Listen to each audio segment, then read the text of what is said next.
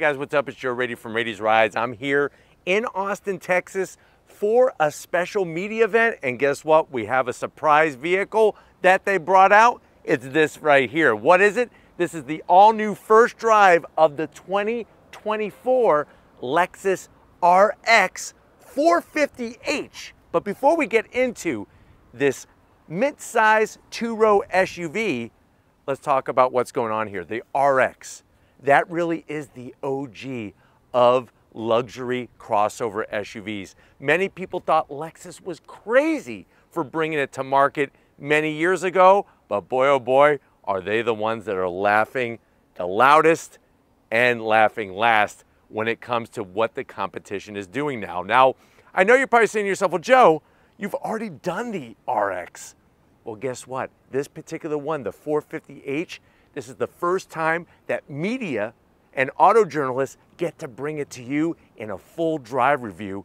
And what I want to find out is if you're looking for the best new mid-size SUV that has two rows, do you go Lexus with the RX? Do you go BMW or maybe even an Infiniti or Mercedes-Benz? Let's go ahead, let's dive into our Nori Green RX 450h and find out. Right off the bat, the color. Nori Green, I'm not really a big green kind of guy, but it's really working on the curves and the angles of this RX 450h. Now at the front of the business, you're gonna notice that triple LED beam headlights. Love the way they have those slim and trim turn signals in there. And then the signature daytime running lamp from Lexus. Working our way down, a little bit of this dark chrome, gloss black finish, LED fog lamps, and a tad of functionality there. So the great news is we don't have to zonk it. The other good piece of news is that as we come across the front, I love what they did with the grille. So you have that spindle body grille design as the front fascia wraps down. The Lexus badge, right underneath that's a forward-facing camera, and I'm so glad that they did metallic gray rather than just a bunch of gloss black. Really works well with the Nori green. And this is, you know, we bought, brought you the redesign of the RX. This is the look, but with the special touches of this being the 450h. Bottom portion, all functional, some flat black on that lower lip area, but this is the new interpretation of the spindle grill. They call it the spindle body. Let me know if you're liking this style, how it goes from body color to the gray finish. Now, as we rise up, you'll notice that deep curve because we have a low coefficient of drag and everything else with the front just kind of V's right towards the A-pillars. Super smooth for that great airflow. Now, as we come around the bend, what are we working wheel and tire setup? You're getting this multi-spoke, nice hand-polished aluminum wheel.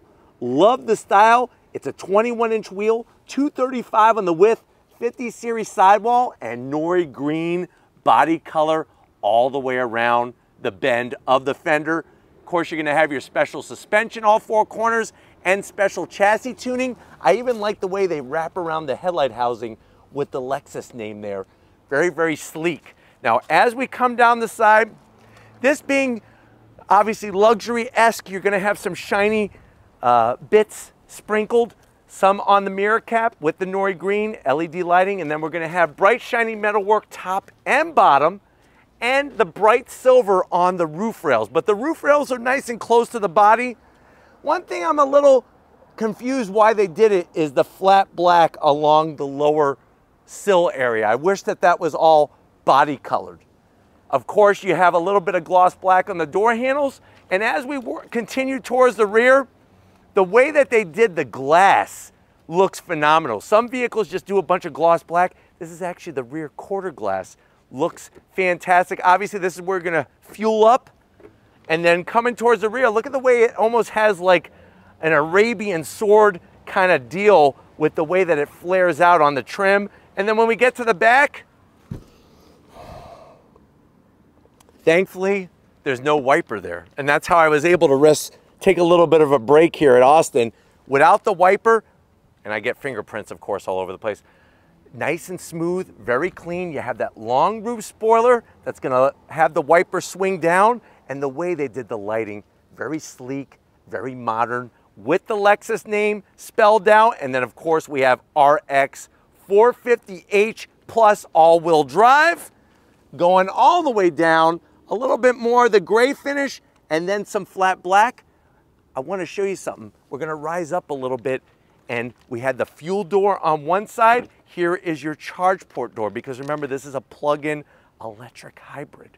You're gonna plug it in right there, give you that great efficiency and great range. But why don't we go ahead, let's pop the hood and talk more about what's powering the 450h. All right guys, we got the hood popped. You do have hood struts. Underneath the hood, tasteful engine cover.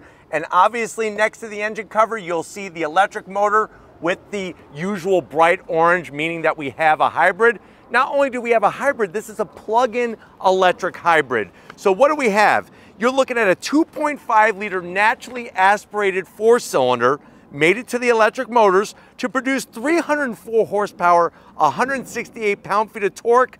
It's mated to a CVT. Here is the big news, MPGs. 36 in the freaking city, 33 on the highway. It uses, uses a lithium ion battery pack, 0 to 60 in 5.5 seconds, and you can do 37 miles of pure EV driving. What that means is, is that if you live 10 miles away from your grandmother to get to her house and back, you could do it without using a drop of gas. But why don't we go ahead, let's fire this up and see it roll.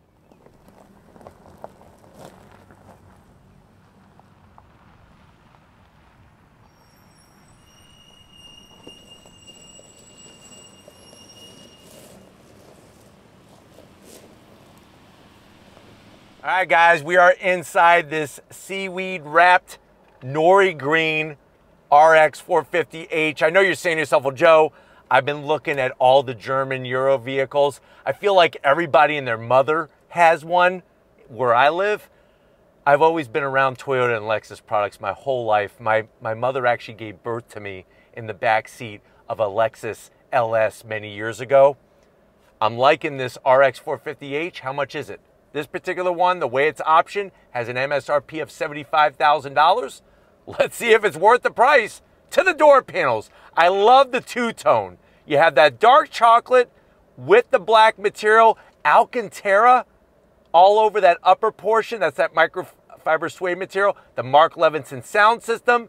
The brown on the armrest. And then the pocket size is decent. You could easily get a Texas barbecue turkey leg in there and a nice huge Yeti bottle of Yoo-Hoo to wash it down. Going from the door panel to the dash, soft touch material, more Alcantara, and then look at this, real wood finish. I love the dark stain on it without the veneer. Once you put veneer on wood, I feel like it feels fuddy-duddy, like your grandmother's Lexus. This is actually really nice. Just be careful when you're rubbing your wood after a hard day of work. You don't want to get splinters. As you slide on in, you have your ginormous 14-inch infotainment system. You've seen this before in all the other Lexus vehicles. It's the new multimedia system, great backup camera, 360, the whole shabam. Heated seats, ventilated seats, heated steering wheel, the dual climate controls. You hit that bad boy, we do a 360 scan of the little filming spot area that we're in, and then we continue our journey. Two USB-Cs. You got a place for a Texas Twinkie, more that nice wood finish. Slide it open. What do we got going on? Wireless charging, a place for, I would say, 500 grand. No, not $500,000 in cash, 500 grand bars, USB-C, USB-A, and a 12 volt. Slides closed nicely. More of that wood. This is going to control, of course, the CVT transmission. Two cup holders, soft material, and then watch this. I could open it up this way, but Steven right now is like, what about me, Joe? I can't show them what's in the center console. Okay, Steven, there you go. I could easily fit, fit I would say, four balls, four baseballs, all signed by Cal Ripken Jr. You can sell them on eBay, and when you're done playing with your balls, you just put them in there until they're sold. Until you sell your balls, keep them in there. Seats, love the material perforated. Look at the Alcantara with the design. Nice bolstering. Full electric assist for the passenger.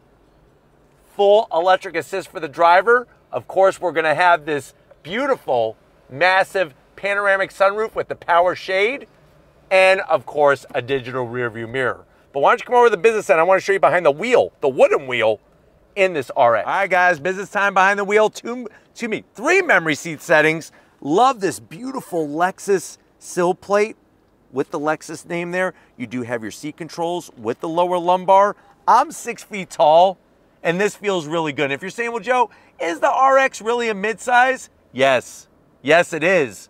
The compact is the NX, and then the full size is the LX. So that's why the RX is the midsize. Two row. Seats, well, this is a steering wheel. The seats, I got six feet tall, plenty amount of room in here. I know Steven's laughing right now, but guess what? It's been a long freaking day. Steering wheel, we got the leather, we got some wood, and it's very tasteful. It doesn't look corny. I'm, I'm impressed with how they pulled that off. You do have paddles to go through the um, simulated gears, and you do have electric tilting and telescoping steering wheel. And then before we get to the dash, which is a seven inch digital display, I wanna show you how you have your different modes. And I like the way I could show it all right up here. Normal, sport, eco, and then you could customize whatever way you wanna do it. We're gonna go sport when we drive. And when we look at the dash, check it out. Watch this. When I do the modes, it actually changes the way the dash looks. I like leaving it sport. You got the red. That's going to give you the quickest steering, quickest response on throttle, and then you do have a head-up display as well. But let's get in the back seat because I want to show you the cargo area and hit the roads in this RX. All right, guys, back seat time, and I'm telling you right now, you got a lot of room in this thing, and this is why a two-row SUV that's midsize gives you so much more. It's not that they just take out the third row. They really take advantage of having more space in the mid row. You do have manual sunshades, which are nice. Backs of the seats, soft material, large pockets. Look at this. You could easily put a abacus back here. You could put uh, a Texas Instruments calculator. And then you have your rear AC vents, three stages of heated seats. Oh my God, OMG. Three stages of ventilated seats, two USB-Cs. And then you can just hit the buttons to shut it off. And then look at this here. You actually have your chauffeur seat controls. So you could actually move the front seat from the back seat.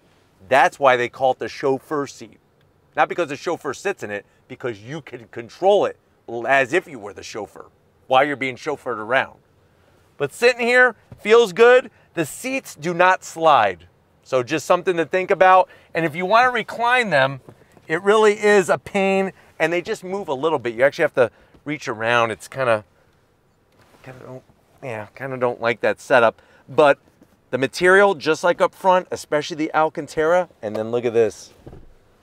Semi-soft on the armrest. You could put a one pound bag of Skittles, nicely done in there, and you got your two cup holders. So they got you covered there.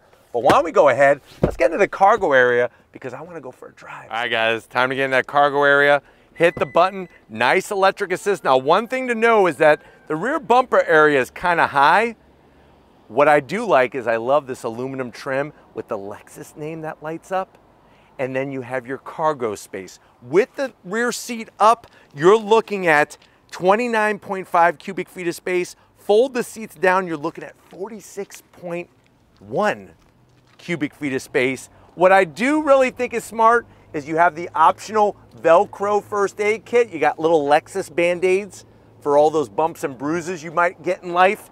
And then the other thing is on the driver's side, you have your subwoofer from the Mark Levinson sound system. And then you also have your buttons to fold down the rear seats. So that's another nice touch.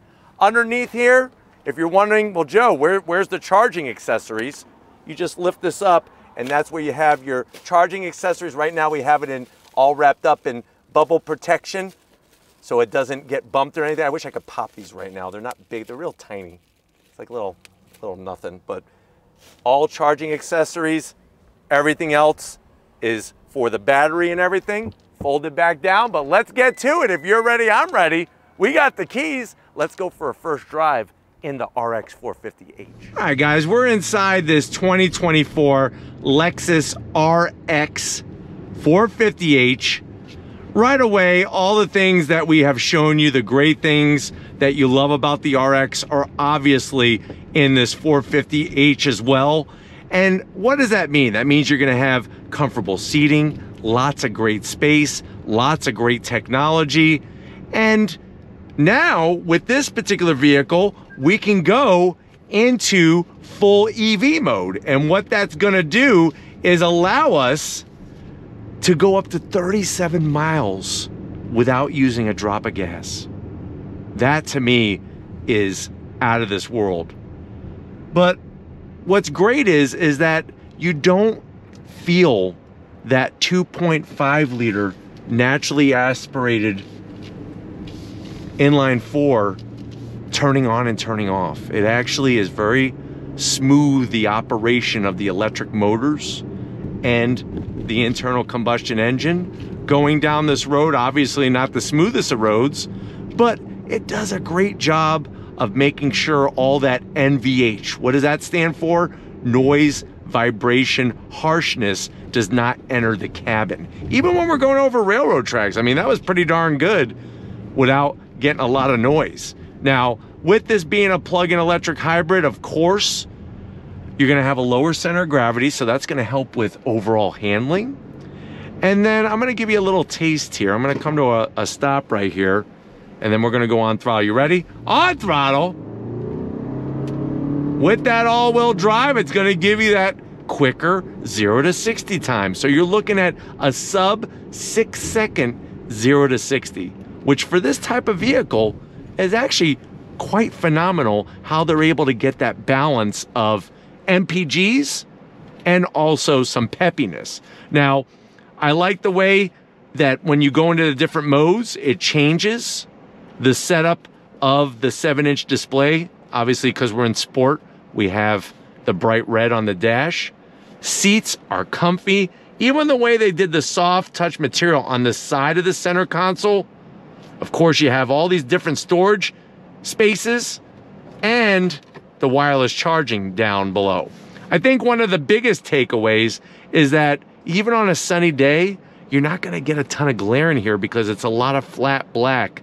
And I think that's the smart way to go. Hey guys, pulling away from the light. I like the throttle sensitivity even in sport, feels good. And just, it's really well done going over these manhole covers, all the dips and the crevices of this road here, it just really shows the work that they did with this platform to make it a nice driving experience. Love the leather on the steering wheel. The wood finish looks very, very classy.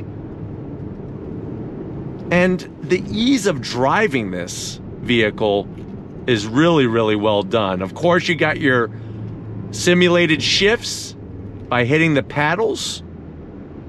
And then you also have the ability to, of course, have that regen braking that's going to help regenerate and re-energize the battery in this vehicle. So they're really giving you uh, a nice variety of ways to really make the driving experience be unique for whatever the situation might be that you are operating your, R, your RX with. But the space, the comfort, the quietness, it feels really fantastic in here. And then of course you're gonna have that bulletproof reliability that Lexus is known for, and also the resale value. So that's something to think about when we're talking about the price of this vehicle is also resale value when you go to step into your next Lexus. Once again, nobody's behind us. I wanna go on throttle with you. You ready? On throttle, here we go. Up the hill and through the woods to grandmother's house we go. She lives in Austin. But anyways, going up that hill, not a problem. Even over the bumps, the uh, all-wheel drive system gets the power to the ground very nicely. And it really feels, I think, natural to how the acceleration is with the electric motor and with the internal combustion engine. Visibility is great. You got the digital rear view mirror. You got the technology you want. The safety features with the Lexus Safety Sense and everything 3.0. So they got you covered every which way. But I hope that this has been a good overall review of the all new RX 450H. We're going to get back to where it all started and wrap this one up. So I'll see you in a split second. All right, guys, it's been another fun filled day out here deep within the town of Austin, Texas. Definitely want to thank the whole Lexus team for bringing out this RX 450H. Let me know what you think. Is it worth the price?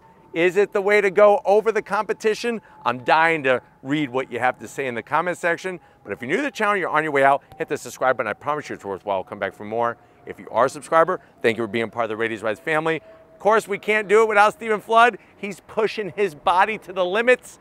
He may be on his way to the hospital to get some fluids and some medical attention, but we'll see what happens. Thank you, Steven, for pushing yourself past the boundaries of the human body and the human experience. And just like always, guys, I'll see you on the next ride.